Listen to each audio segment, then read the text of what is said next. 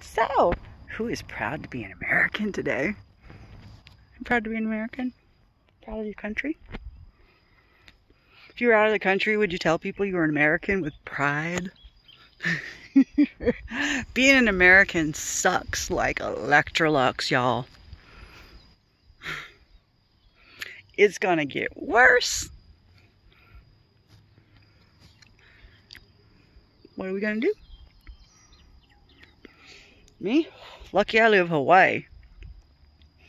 In my little cave with my dog, my video games, my weed. What are y'all gonna do? what are y'all gonna do? Fuck, man, I worry about my mainland friends. You proud? Hmm?